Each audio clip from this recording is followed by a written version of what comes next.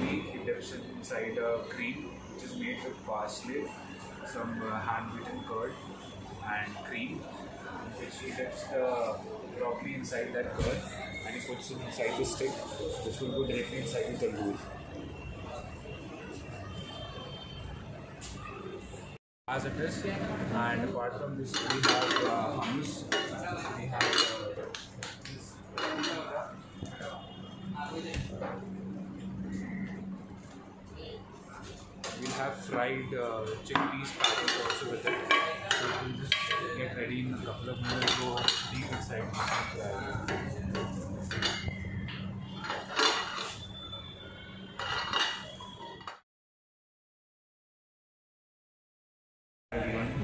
So we are sitting here at Buddy's Cafe.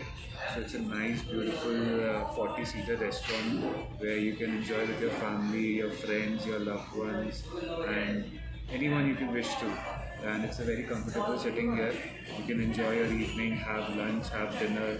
And it's an all-day menu. We have multi-cuisine, Indian, Chinese, Mexican, and uh, it's just uh, located in New Sanganer Road, right in front of Murthy Plus building.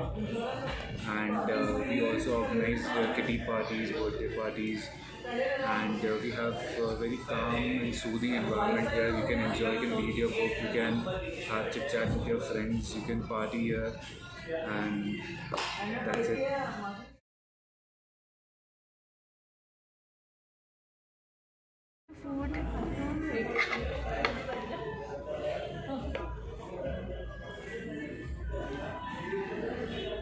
Mm. It's awesome. It's really very tasty.